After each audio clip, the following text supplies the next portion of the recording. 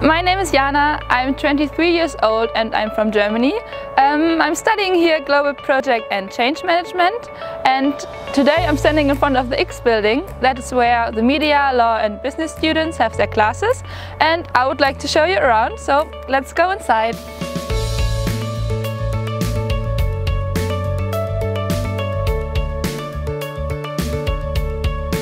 Right now we are in the central hall of the X building and behind me is a service desk. If you lost something you can ask them if they found it or if someone gave it to them. And also if you need to reserve a study room, for example if you want to study in a small project group and need a silent place, you can ask them. Also at the ground floor you find the canteen and the menu of the X Building canteen changes every once in a while because they work with country themes. So this week's country is Suriname and you can find typical food of that country in the canteen.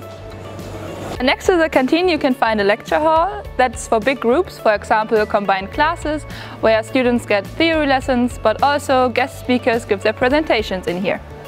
As well as on the ground floor, the other floors offer plenty of space so if you need to study alone, you can find a quiet place and if you need to study in a bigger group, you can also find a place with more space. Now it's time to go a little bit higher since we've seen everything on the ground floor.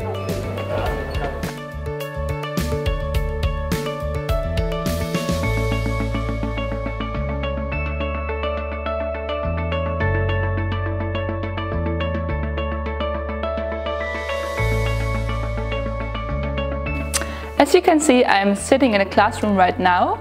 All the classrooms have windows instead of wall and because of this, it's a very bright, light and open vibe.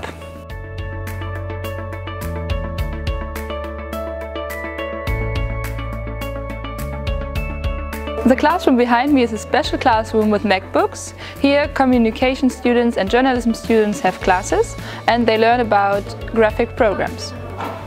I really like the X building because of its openness and the natural light and also because of the like-minded students you find here. So this was the tour through the X building and I hope you enjoyed it.